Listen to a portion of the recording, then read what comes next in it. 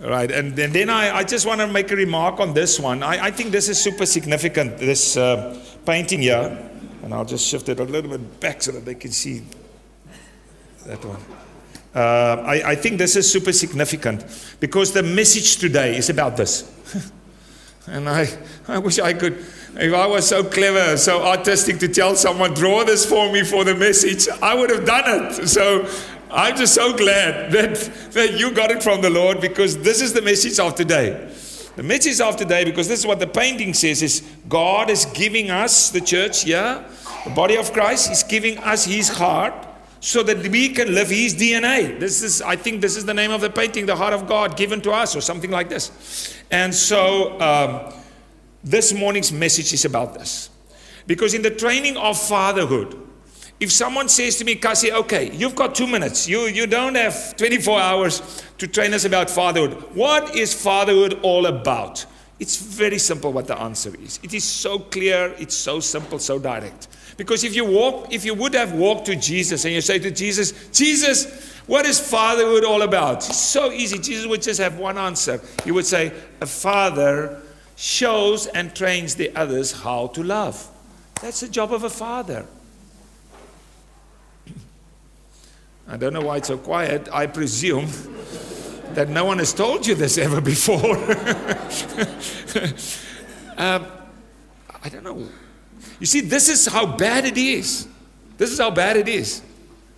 That we've never been taught by our fathers that the main job of a father is to show and demonstrate all the children how to love. That's all. That's all. That's it. And that's the message of today. Now, the problem, obviously, also is fathers don't know how to love. And I will, I think in the message today, many of you will be convinced that you have never loved, ever loved before in your life. That you actually don't know what love is.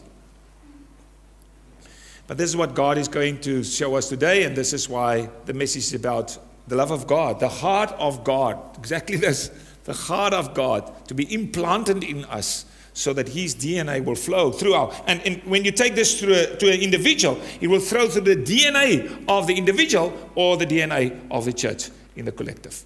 Okay, um, so uh, marvelous. Great things are happening here that actually frame what we are going to hear from God this morning. So, Friday we said it's Friday, Sundays are coming, and the worship leader stole my words that I wanted to start to start with, and then Sunday has come. Is that right? So, Jesus has arisen, He is alive, He is here, He's living with us, His life is in us. And I pray that this morning, by the work of the Holy Spirit, He will pour life into you like never before. I want to warn you that your life may change this morning forever. Uh, because the message I'm bringing to you is actually not my message. I got it from a friend that came from America. He became a friend afterwards. And it's the first time I listened to this guy. When I heard this message, I could not believe that I heard a message after 34 years of marriage that I've never heard before. And that I've never heard any seminary in the whole world train pastors to understand. And it is the most fundamental of all messages. It is the most fundamental message of the Bible. It is the core, the essence of the Bible. And the strange thing is, that we don't plant this in the hearts of people. We don't found everything that we do on this. What I'm telling you now is the foundation of Christian life. Right? So this is serious. Turn to the guy next to you, um, woman next to you, say, This is serious stuff. This is serious stuff. right. And for this, there's no way you can understand it in the natural. There's no way. You can only understand this in the spirit. There's no way. So if the spirit would not miss, would not carry this message, would not minister to you this morning, it's all done. So my words can do nothing, absolutely, completely nothing. But the Spirit can do this with you. I was married um, for, for 34 years, as I said, and um, very early after we got married and started in ministry and so on, uh, the Synod of the Western Cape uh, selected six couples to train as marriage enrichment counselors. So they were trying to find where are the good marriages and so on. And then they came upon us and they said, oh, this is not too bad. Okay, so they trained us and we became marriage counselors. And so many, many people for all those years would hold up our marriage as a model marriage as a, and great and, and we would train people six weekends per year initially and later it dwindled out a little bit.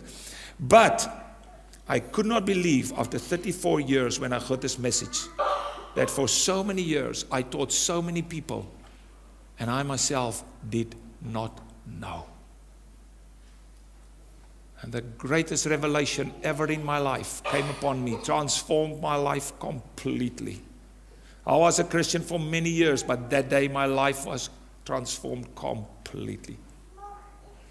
So I want to say to you as a Christian, I want to say to you as a person filled by the Holy Spirit, do you think that God cannot transform your life?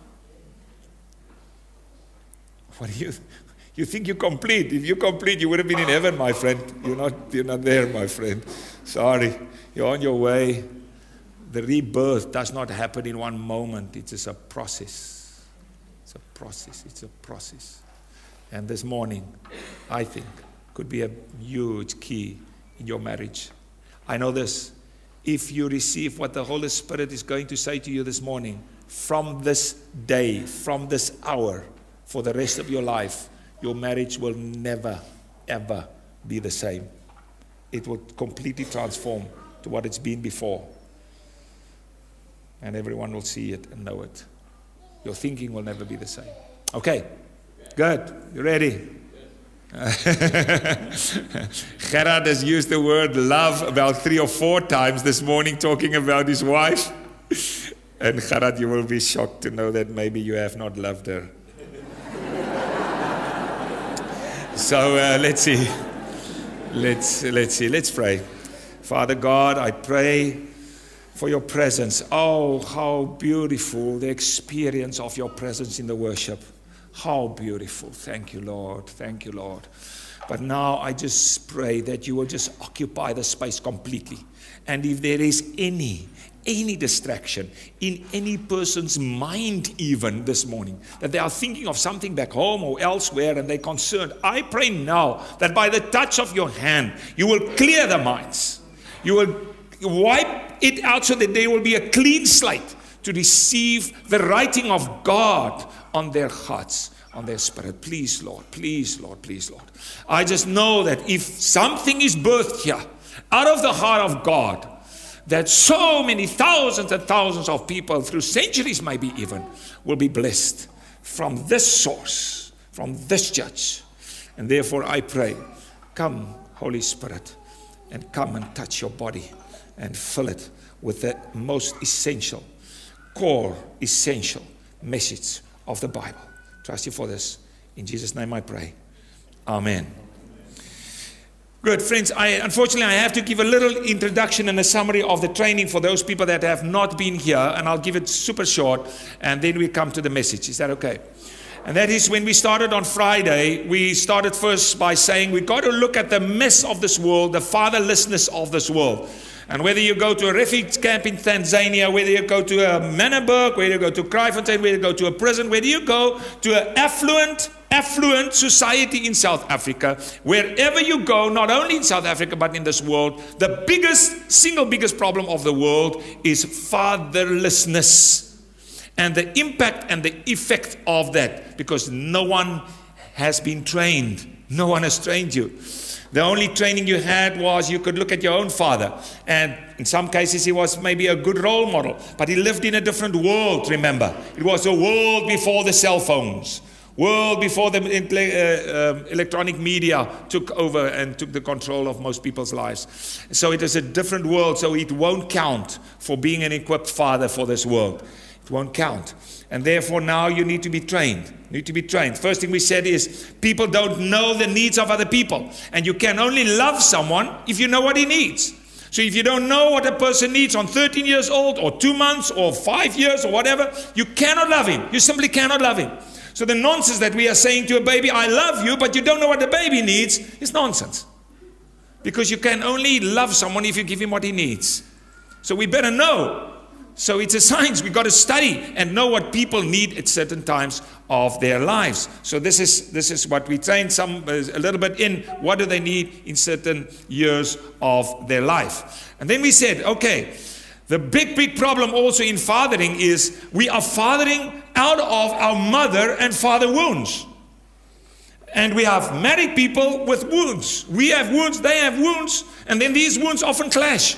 And that's why we have conflict, and that's why we don't have the right atmosphere at home, which is called heaven at home, because we operate, function from our father and our mother wounds. And unless we get healing from the father and mother wounds, we will not function as the proper people that God intended to be and fathers that God intended. And we need to have healing from that. And we talked about that, prayed for that, and, and, and we understand that much better now. And then we said, okay, now, before you're a father, you've got to be a man. So what is what does it mean to be a man? And we spend a short little time on what does it mean to be a man. I always remember the guy that said to Jesus on the cross, Ecce homo. And this is the words in, in, in Latin, and it means there is the real man. Amazing and wonderful. Okay, and so we talked about manhood a little, and then we said, okay, so what, what uh, does fatherhood entail? And, and we said that Father God spoke to Jesus, and he said four things. This is my son. A father confers identity. He shows his children uh, identity. He transfers identity. So values, friends, choices, those things form identity and, and, and purpose. Purpose in life. What is your purpose in? Those things form identity. And the father is the one, as a life coach, to transfer this to the children. Whom I love. And this is what we are going to talk about this morning. The father brings love home. So daddy comes home and everyone says, Daddy is home. Because daddy brings the emotional air conditioning in the house. You got it? You got it from now on. He is the emotional air conditioner of the house. The emotional air conditioner. So he comes and he brings this lovely atmosphere. Why? Because he's a happy hormone factory manager. Happy hormones, dopamine, serotonin, serotonin, and oxytocin. The father brings that in the house because if he comes and he hugs and he, hello, all of those nice, good hormones are secreted, and that brings happiness and calmness and peace in the life of a person. All right.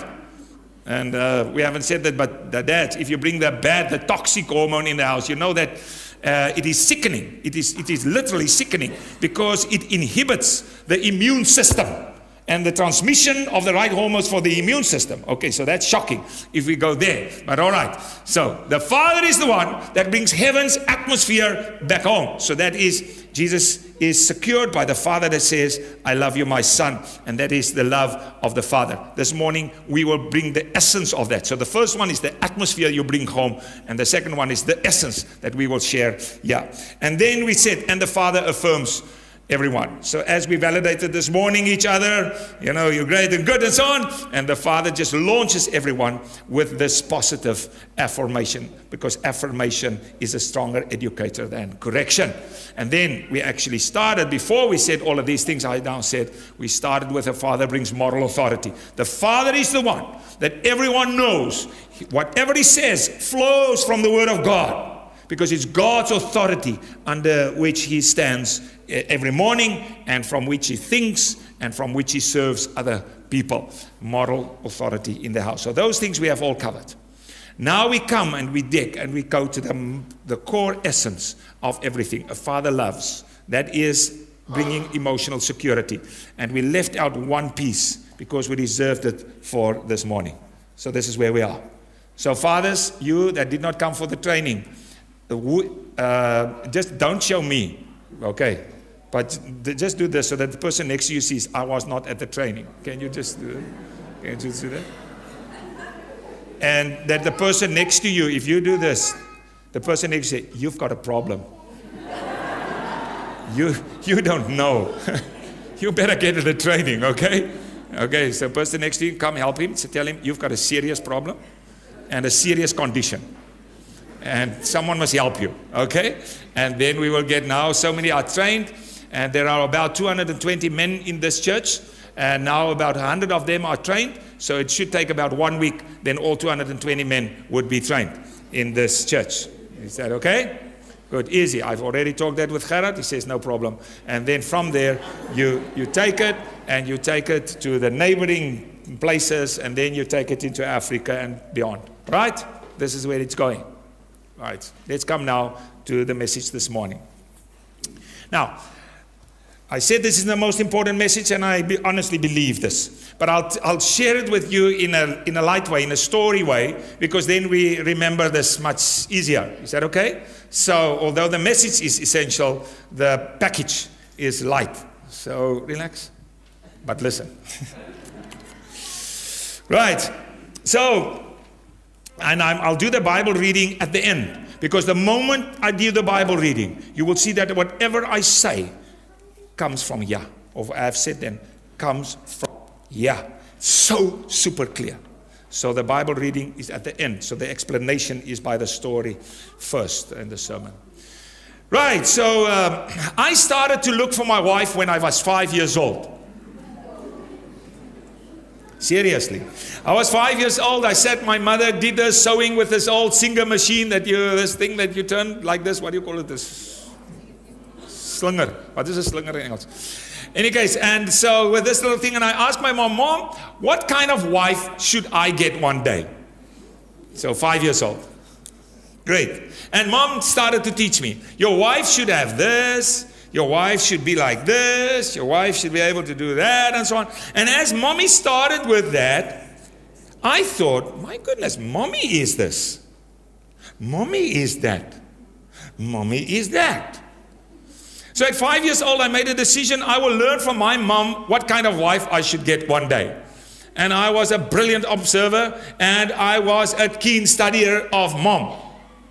So by, by 10, 11 years old, I had my complete list, having observed mom in all circumstances, every single day of my life, I would just watch her and watch her because I wanted to know exactly. I wanted the best wife in the world the best woman in the world. So I wanted to watch my mom. So I watched mommy, and by 11 years old, I knew. I studied, I was a specialist in observing mom. You know what a specialist is? Someone that is doing anything for 10,000 hours is a specialist. I've, I've covered more than 10,000 hours in that to watch mom. And I had my list of, of, of what my wife should be. But then there was only one thing missing, and that is people said mom was beautiful and um, objectively looking, yes, she was good looking, but, but mom was not attractive to me. You know, I had, I, I needed mom plus. mom plus. So uh, those days we didn't have the cell phones and all the movies and TV and so on that we have now. But we have some, we had some magazines with lovely ladies in it. We had some movies and lovely ladies, and obviously some lovely ladies graced uh, the world by walking down the street. So from 12 years old, really encouraged by the testosterone levels that grew uh, in my life, I uh, did another research and this is the physical research. How should she look? You know, uh, you know, legs like this, body like this. I won't go into all the detail that I was looking for, but but I studied, and especially holiday time when you don't have to think about any other thing. This is this is your full time research is on holiday times. on the beach, there you research. Okay, so by by 18 years old, highest levels of testosterone at that stage. You know, I have been a specialist in that as well. So um, I, I know how a woman should look. Uh, this I know better than any, oh, well, maybe better than anyone else. In any case, so I was, I did that. So I, I completed that list as well. Then I also um, uh, believed that dating would teach me a lot. You know, if I, because you've got to interact with these girls. I had four sisters, so I checked them and saw all the things I don't want in my wife. And, uh, and, and then I thought that if only I would drink coffee, you know, more with these girls, I would, I would discover other things maybe that I couldn't discover by doing this. So I started dating very early, 10 years old. So I, I, I kissed my first girl at the church. Um, it's actually a brilliant place to kiss a girl. I always encourage the young people to kiss girls at the church. It's a holy place, man. And in case, so And why I know this, I kissed this girl, but she was part of a twin. And so when I kissed her, I saw her sister look very sad. So I kissed her too. Only the church can teach you things like this. So, kissed her, she felt better. So, I started at 10 years old, and then I dated girls, you know, for shorter and longer periods. And then, uh, you know, before I met my wife, you know, I, I had, oh, I don't know, many of them for coffee. I mean, I, it's maybe why I don't drink coffee anymore. But in any case, so, um, so I learned from, any, from all of them. I learned something at least that I added to my list. And then there was another thing. You know, I'm an idealist, they say. And that means this is a guy that dreams things that do not exist. But he dreams that into existence. Okay. So I'm an idealist. So I, being an idealist, I also thought of this woman that no one else has ever experienced, but she will be my wife. Okay. So I had that list too. All right. And then, 19 years old. Can you believe it? One day, suddenly, not warned. I met this woman. I was so excited. I talked with her for five minutes. I ran to the telephone, no cell phones then. Ran to the telephone, phoned my dad. Dad, dad, I met my wife. I met my wife, dad. Dad, I met my wife. Uh, okay, dad calmed me down and he gave me a few good words and so on. And, uh, and I said, Dad, it's crazy. I spoke with her only five minutes, but I know it's my wife. And she spoke English, but I, fortunately, I could understand. Couldn't speak it, but could understand. And, and, and, and, and I spoke Afrikaans, I, I, but it, it, it, made no difference. I, I, Dad, this is my wife, you know. So, being a specialist, obviously, I was ready to know exactly at the moment. And then uh, we started to date because she's from a different culture than me, English, Afrikaans. Uh, we had to date long, so we dated four years, and then we got married. This woman, yeah, in front. Got married with her, and I will never forget that day when she walked down the aisle. Man, I stood there and I thought, all you other stupid guys, man, why could you not do what I did. How good am I? This is the best woman. How blessed am I? The best woman on planet Earth is walking now into my life. Yeah, no, it was, I was just so proud. It was so brilliant. She came, she stood next to me, she took my arm, I bent over, I said to her, I love you. By that time, I could speak English. I love you. I love you with my whole heart. Oh, she looked up at me. She said, Me too. Oh, my heart melted, man. I was so proud. Question is, did I love her? What do you think?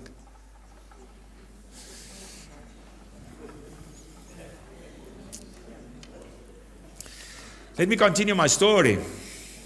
My question to you is Did you love? Okay, Put up your hand if you loved your wife the day you got married. So that's an easy one. You don't have to say where you are now. The day you got married. Did you love your wife? The day you got married. Okay. I'm going to prove in the next 20 minutes that you did not love her at all. You did not love her at all. Not at all. So let me continue my story.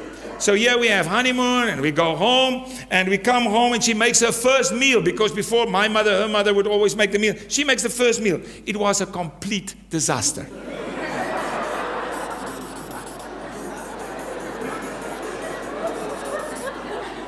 Raw chicken. Doesn't work. So suddenly it was the first shock of my life. She's not like mom. She's not like mom. Then mother, mom did other things. You know, one thing, for instance, that mom did, we were six children, but mom, whenever you would sit next to her on the couch, mom would sit and, and she would take your earlobe and she would play with your earlobe. It was the most amazing. I just always tried to find a space there close to mom's hand, and then I would just sit there and mom would just play with my earlobe. And um, so here I come, we sit on the couch, you know, and we're watching something TV later came out we watch the TV and I'm watching. And I'm, I'm waiting I'm waiting. My yellow my yellow I'm waiting I'm waiting. Nothing happens. She fiddles with her hands and uh, ah man she's not like mom. This brilliant thing of mom is not there. And I discovered other things too, you know, that she did not have. And, and, and the shock was she would probably never have it. And then on this one, you know, this is the sexy list. Is that right? Man, one day, three o'clock at night, I woke up and it was full moon and the moon was shining on my bed because the curtains, the curtains were drawn and uh, shining on the bed. And next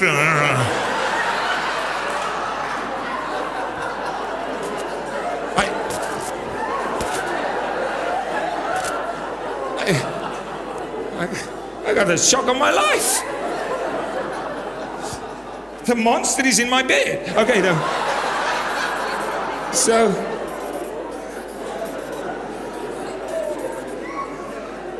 I discovered that women sometimes take about an hour, two hours to look like they, they have looked before marriage, you know. Because I never slept with her before marriage, and suddenly I got this in here. What is this? So, uh, okay.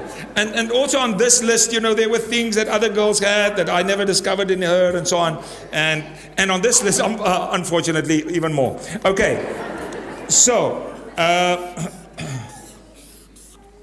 so when I said to her, turn to her, I love you with my whole heart, who did I speak to? And that's the question. You understand? I was speaking to this, but I only got this. So did I love her? Mm-mm. I love my dream. And your dream is your idol. So that love is idolatrous love. Idolatrous love is evil. It's evil. It's not half good, it is evil. Because when you love your idol, who do you love? You love yourself. It is your idol. It is your expectations. You only love yourself. You don't love the other person. And you see, the more that you love your expectations, the harder it is when you, your expectations are not met. So after marriage, what happened? Whenever she would give me this, I would say to her, Oh, I love you so much. You make me so happy. Whenever I would get this, what would I say? You make me so unhappy. Why can't you? Why can't you? Why can't you? And I was always trying to fix her into my idol. Because all expectations that people carry, no, all frustrations that people carry are directly related to expectations. Can I say that again? All frustrations that people carry are directly related to expectations. Later on in life, I discovered one more. The more pride you have, the higher your list of expectations. And back through that, and the more your frustration. So, the most frustrated person is the one that loves himself most.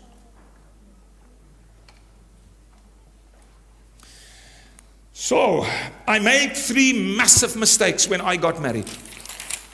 The first mistake that I made is I was looking for something externally, external, to make me happy. I wanted her to make me happy. Now, that is terrible. Actually, as a matter of fact, that is a transgression of the first law of Moses. Because the first law of Moses says that you've got to love your God with all your heart, mind, and strength. Because God, God, what is a God? God is the one that determines your life. God is the one that controls your life. God is the one that is the source of all goodness, happiness, significance, everything that you need. He is the complete source of all that you need. And now I was looking for someone externally to give me what I actually need instead of taking that from God. That is a transgression of the first law because you make your wife, you give your wife the right to make you happy or the right to make you unhappy. I should never have given her the right to make me happy. She does not, she's not supposed to have the right. Only God has the right to make you happy, not your wife. It was a massive mistake. I was looking for my happiness in my wife instead of in God. That's a huge mistake. The second mistake I have made was exchange love, if you want to call it love. It's actually not love, it's a contract, but exchange love, if you want to call it like that. Which means that if this is her, uh, or, or, this is me, and this is her, then, then I would give her to get. So, so I would, uh, during the day, I would be so nice. I would clean up a little bit, you know, help with this, carry this, do that, and so on. Sometimes bring uh, uh, chocolates and sometimes bring her flowers. But tonight, I expect to have sex because it's an exchange. Because if I've been so good, then obviously she will be thankful for that, and so obviously she will return the, the, the, the, good things that I've done. That's not love. That's a contract, man. That's a credit debit business deal. It's not love. So I made that one. It's a massive mistake. Because the love of God is one directional. And I'll come to that. It's not exchange, not go give and take. It's just give. So the love of God is one directional, one directional. It's just give. And I was in the give and take business with my wife. Third mistake I made, very closely linked with that one, is expectation love. Expectation love. This is exactly what I said Yeah, I had my long list of expectations, and therefore it, she had to meet up with my expectations. You see, the problem with expectations is the following if you have expectations, then the other person they need to perform so you're asking for performance and if they do not perform whatever level they need to perform, you are disappointed. And the disappointment leads to shame and guilt in the other person. And this cycle just continues and continues. And this cycle we call the fear cycle. And the Bible says there is no fear in love. No fear in love. So this is not love at all. There's no fear in love. You see, my friends, God is different. He is completely different. Can I give you the good news? God has no expectations from you. Listen carefully. No, not one. Why not? Because in the word expectation, you can see this in the word. There is a need in the fiber of the word expectation. I expect because I need. You understand? So in the word, interwoven in the word, is the, is the element of need. Does God need anything? God is complete. God is absolute. He needs nothing. He does not need you. Say to the person next to you, God does not need you. He does not, because you cannot improve heaven. There's no way you can improve heaven. Heaven is perfect, my friend. So you, your addition to heaven is not an improvement of heaven. Heaven is perfect. God doesn't need us. He's complete. He's perfect. He's absolute. So the fact that God loves us is not because He needs everything or anything. We will see why God loves us. It's a whole different thing. So God cannot have any expectation. He is complete. So with God, it is completely different. So God is not expectation love. God has something else, and I'll explain it now. Now, God has intentional love. Intentional love. And the intentional love helps in that because he intends us to become perfect. I will explain it now now. And with that, he pours out his love, unmerited, unconditional, one directional grace, and he just gives it to us. And because he's giving with this intentional love, we we share the grace of God with others. And when we see this, for instance, and we share this with our children, and we see something that they respond on that, then we celebrate the improvement of this person and that brings joy. And then we have what the bible say, says there is no fear in love. But now you understand. Because can i ask a questions now? Do you love your children? You don't. You do not love your children. Because you have expectations for your children you want them to do this, you want them to do that, you want them to do that. And if they don't meet up to that standard, and they don't get an A in this exam, and they don't perform like this and this, then who is irritated? You are irritated because they're not, move, they're not meeting your expectation. Because you love yourself. And that brings tremendous fear to the people around you. I will never forget it. We were still dating before marriage, and then one day, out of the blue, my then girl, who became my wife later, said to me, Cassie, what would happen if I end up in a motor car accident and my face is smashed and deformed permanently, and I end up in a wheelchair and I can never give you what you need? What will happen? Will you still love me? I was so shocked by the question. I never answered. I never answered. But the question never left me. Because down deep in my conscience, something said to me, You will not, you will not, you will not, because you have all these expectations. And you married her because of her qualities, not because of her dysfunctions. So, do you love your children? Does love mean only feeling good when they do good? Do you love your husband? Do you love your wife? Why do you get so irritated? Is it because he's wrong or because he's not meeting your expectation? So, who do you love? What is love? Is the question. So, my friends, let me explain this. And the next few minutes, you simply cannot sleep because the next few minutes may be the minutes that will change your life because those were the minutes that changed my life.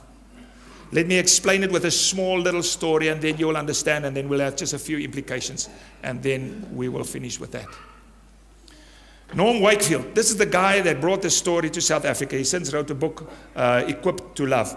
And this is what he said. Listen to this small little story. He had four children. And then, uh, oh, he had three children, sorry. And then the fourth one was born. And then at the birth of the fourth, fourth one, a girl, they expected this little girl. The girl was born. He, he was there. He saw this little girl. He got so excited, saw this beautiful little girl. And, and, uh, and, and he started to praise God. So they put the baby on the mother, and he had his hands on the baby. And he, as he started to pray, the nursing staff was there and said, Can we just clean the baby? And then you can hold the baby again. And they took the baby to clean the baby, and he continued to pray. He held the hand of his, his wife, and, and he continued, and he said, like, and this was his prayer. He said, Lord, thank you so much. This is the greatest gift that you give, can give to a father, greatest gift you give to parents is the gift of a life of a child. Thank you so much. This baby is just so beautiful. This baby is fantastic fantastic. This baby is perfect, perfect, perfect. Thank you, Lord. I love this baby. I love this baby. The baby is perfect. Amen. When he said Amen, the doctors or the nursing staff was back, and the doctors walked up to him. The doctor said, I'm so sorry. He said, What do you mean sorry? Doctor said, Did you not see? He said, No, no, no. I checked fingers, uh, the, the toes. I checked it, but the baby is fine. The doctor said, Sorry, many, many people cannot see this at birth but your baby is Down syndrome.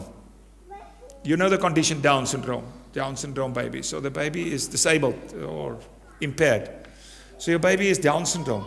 When the doctor said your baby is Down syndrome, at that moment, God said to him, Pray the same prayer now. Now. Say, Thank you, this is the greatest gift. Say, Thank you, the baby is beautiful. Say, Thank you, the baby is perfect, perfect, perfect. Say, I love this baby. And he could not pray. He just could not pray. Then God said to him, You ugly man, you do not love your baby. You love your expectations for your baby, which means you love yourself. That's it. Then God continued to say to him, You don't only love your baby, you don't love your other children, you don't love your wife. That's why you're so irritated all the time because the people are not functioning as you want them to function because you're the Lord of yourself. And you embrace yourself only, and it's all about you. You filthy man. And as the guy was sharing this message, God killed me. because I knew that was me. As good a pastor I have been for at that stage more than 30 years, and as good, good a husband I have been to my wife. And as good as a Christian model I have been to many people, and many of you have been in the church when I was a pastor at, at the Students' Church in Stellenbosch. As good as I have been, I was a filthy, disgusting sinner. Because I did not love. I did not know how to love. I did not know love. I started to cry that day. I cried for one whole week. One whole week. I just could not stop crying. Ben will remember my disciples were with me, Gerard. We cried together. We just poured our hearts out to God because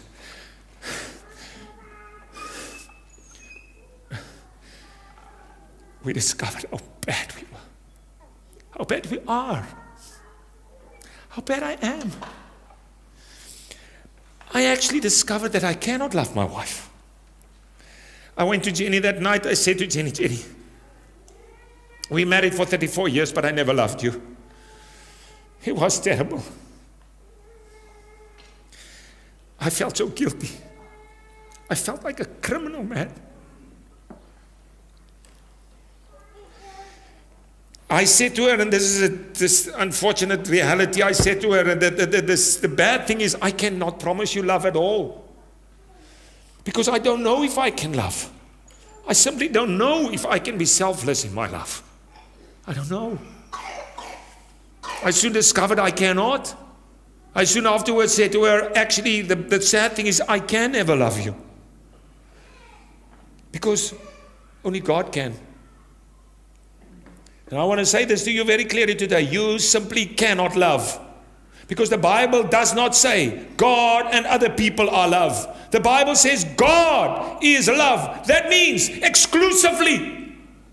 There is none like Him. God alone is love.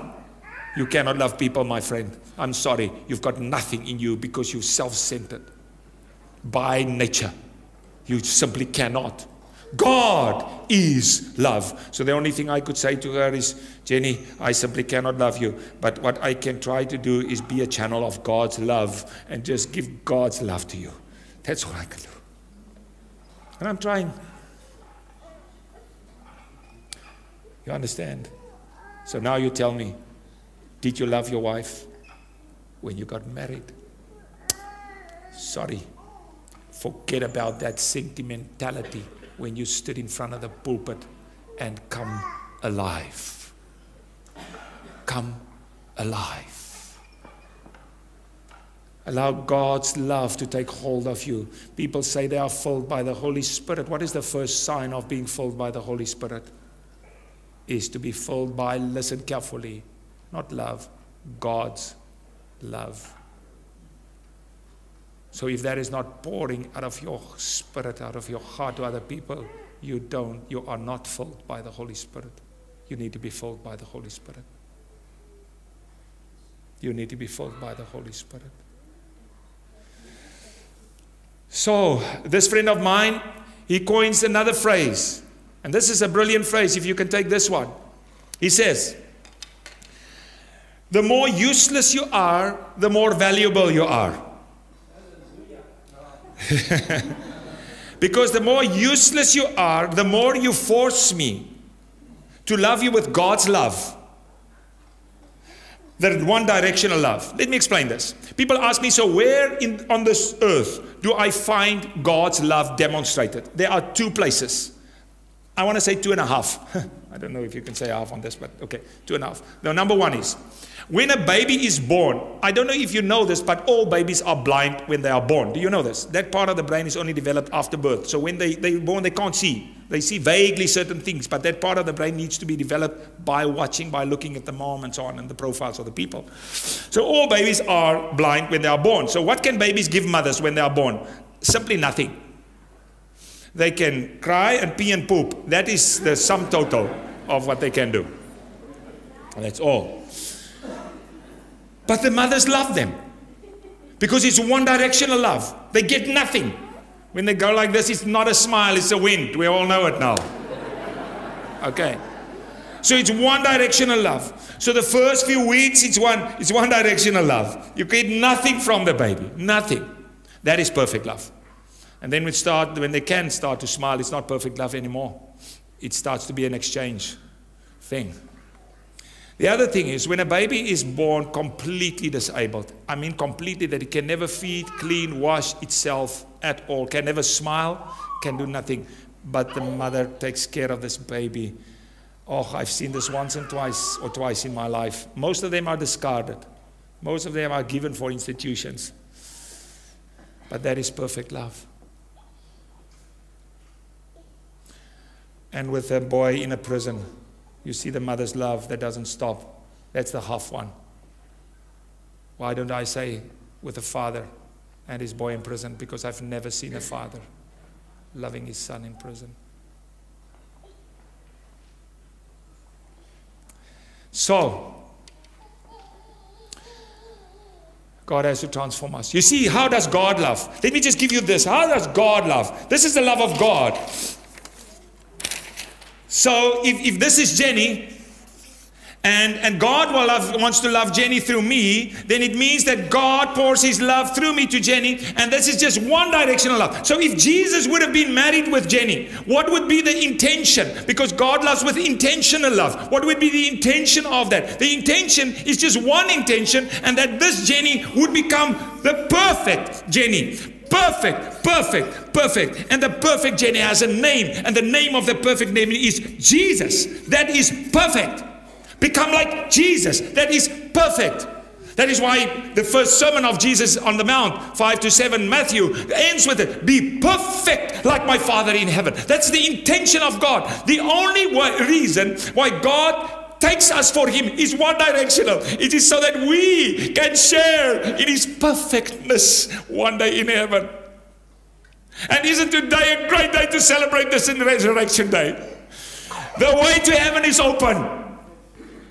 I will be perfect one day. My wife too. Fantastic. perfect. So, if I love my wife with God's love, it means I don't expect anything. I just give and give and give and give. So, you know, some people try to use me as a counselor. I'm a terrible counselor, but try to use me as a counselor. And they say, you know what? I've given so much. And all my years of my life, I poured myself out. I am the only one that's. And I think, this is brilliant. Keep on going, girl. That's what you're made for. That's one direction of love. No, no, I must look after myself. Where do you get that? That is simply evil.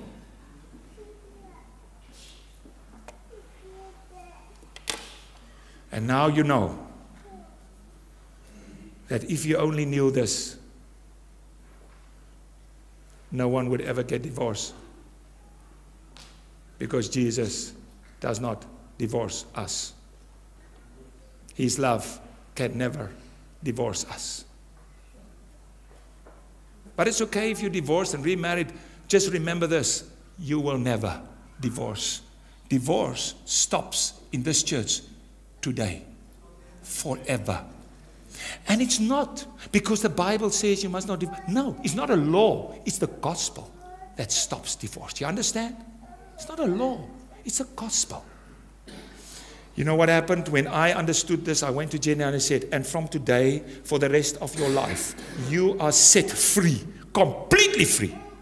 I have no expectations. You don't need to make me food. You never need to give me sex. You, it's fine.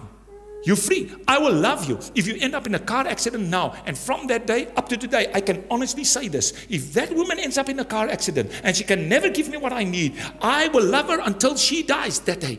I for sure I will do this with all my heart. Because that is what God's love entails. One directional. No expectation. No expectation. One directional.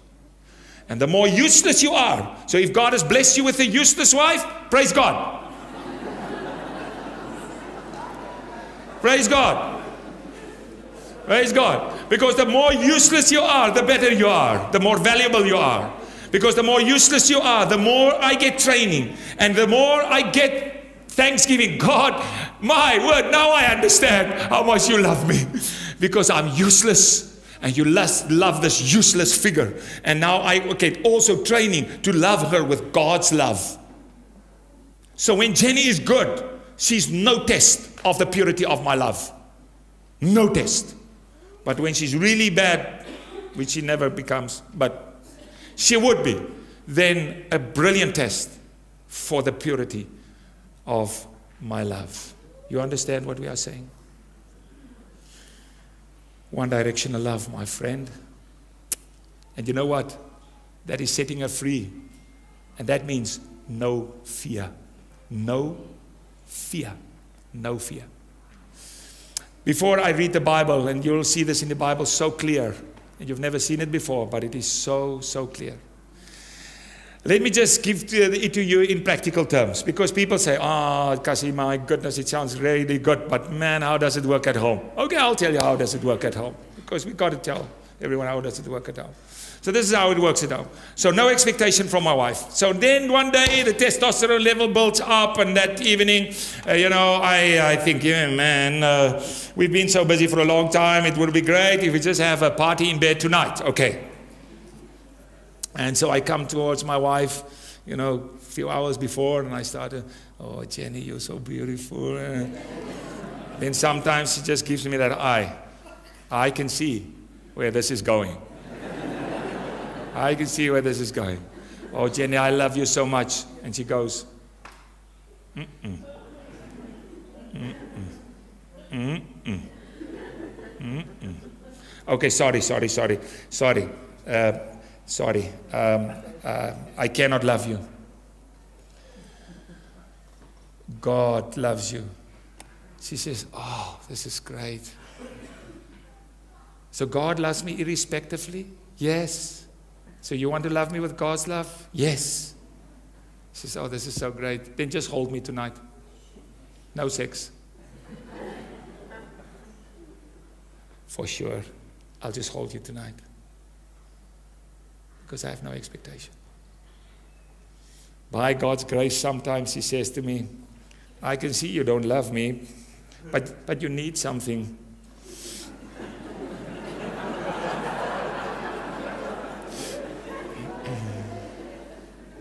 I will be your humble servant. Praise God for that too. Do you understand? But I say this before witnesses. If Jenny decides to never, never give me anything in life again, it will make no difference. You see, before six years, seven years ago, how many years is this?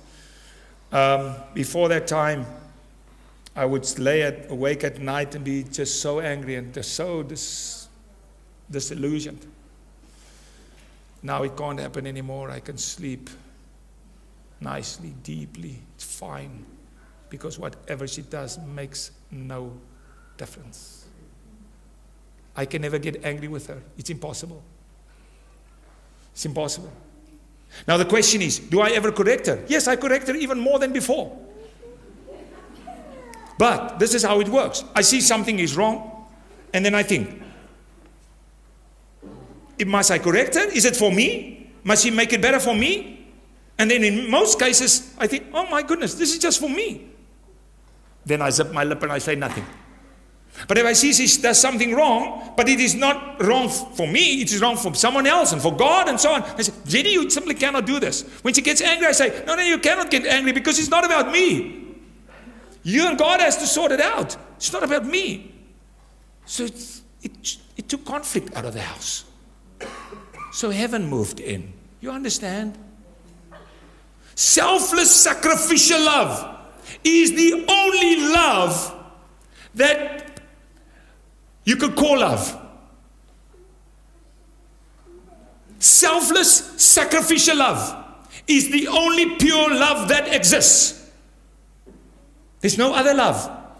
And this is the problem of this world. They call everything nonsense love. Love my dog, love my car, love my. So now I never say I love you anymore. Because the moment that I say, I need to explain what love means. When I say I love you, this is what I say to you. When I want sex, and I'm not sure if I love I say, I'm not sure if I love you, but tonight I want sex. Sorry, my flesh cries for it tonight. Something like that. You understand? And then she can decide. Whatever she decides won't make a difference. Do you understand? Is it practical enough? I, I presume so. More practical than this, I can't get, can I? Okay. So does she have to make me food? No. Does she have to clean the room? No. Does she have to make the bed? No. What does she have to do? Nothing. She's free. That's it. And it will make no difference. En al die amen. Behalwe daai man. Hy wil nie. Meneer, jy moet leer amen sê op sulke goedes hoor. Okay. you get you get it. You get it. So, where are you? Don't you want to set your children free today? My son, you never have to get an A in anything. My daughter, you never have to play in this what or whatever or play in this team or that team. You you're free, free, free, free. There's no expectation. The only thing that dad wants to do, dad wants to make you like Jesus. So it's got nothing to do with your exams. Nothing. You're free. Just be. But love Jesus. And that will encourage you to be like Jesus and to love like Jesus. That's the main thing.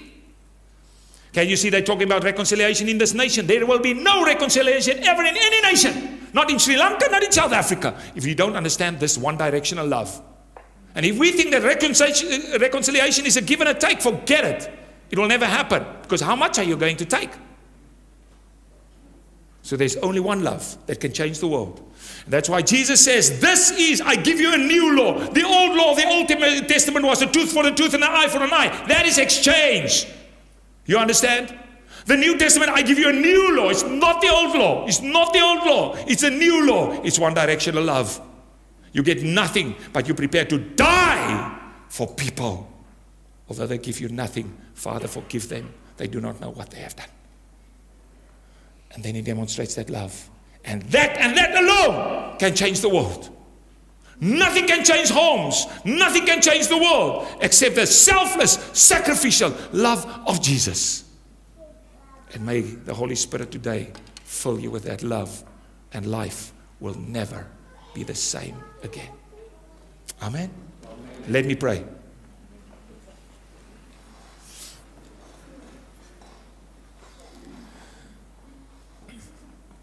I want, keep your eyes closed, please. I want this morning to ask, and I'm going to ask the men first, because God called them to be the heads of the home, to be the initiators. Sir, keep your eyes closed. But if you must acknowledge very clearly this morning and say to God, not to me, to God, God, I don't know, but I've never loved. I simply have never loved with your love. I've loved with my love, which is not love, which is a fake love. It's not a real love. I want to surrender my life to your love and to love like you love. I want to say, ask those are the men that want to say this to God this morning. Can you slip up your hand, please? I want to pray for you. Thank you. Thank you. Thank you. You can take down your hands. I want to ask the ladies if you must say and acknowledge and say, I'm guilty as charged. I had expectation love. I want to love with God's love. And it's actually the first time in my life that I say this absolute, complete, selfless, sacrificial love. One directional, intentional love. I want to love with that love. If you say you want to say this to God this morning, slip up your hand, please. Thank you. Thank you. Father God, Father God, oh, how beautiful would this world be? How beautiful would the home be with love like that? That's the moment we will call it heaven. It's heaven at home because there's no fear. There's simply no fear.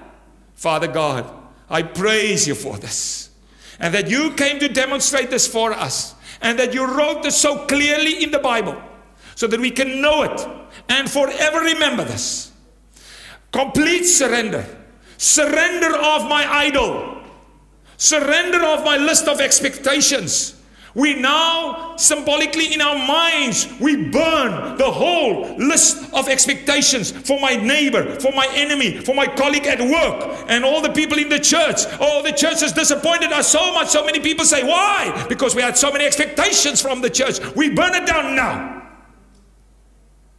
And they are free. They are all free. Because we want you to love us with your love. And let that love flow through us, Lord. Thank you for that. And thank you, Lord. This is so brilliant that we can't, we don't have to prove to you that we are serious. we can be absolutely useless. And then you come and you say, I love you. I love you. Thank you that you love useless people and that you are so intentional that you want to take them home with you one day in heaven and that we can celebrate that today. We praise you for this, Father. You are amazing. Fill us with your heart. Plant your heart in us today, and that the DNA of your heart will permeate in this church, beyond this church, every household. Thank you, Lord. In the name of Jesus, I pray. Amen. Now, one more. I, sorry, I'm five minutes over now, but I got to read that. I won't say anything. I'll just read. And then you see how brilliant this is. 1 John 4, verse 7. Dear friends, let us love one another. For love, real love, comes from God, God alone. Everyone who loves like God has been born of God and knows God. Whoever does not love like God does not know God. Here is your definition for who is a Christian. We've worked with wrong definitions.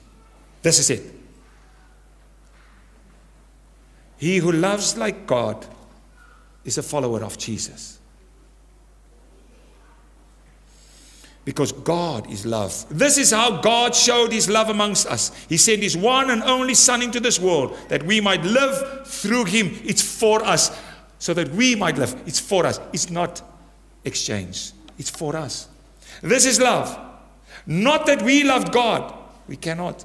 But that he loved us and sent his Son as an atoning sacrifice for our sins. Dear friends, since God so loved us, we also ought to love one another. No one has ever seen God. But if we love one another, God lives in us and his love is made complete in us. And then verse 16. And so we know and rely on the love God has for us. Not our love, his love. God is love. Whoever lives in love lives in God and God in him. This is how love is made complete amongst us so that we can have confidence on the day of judgment.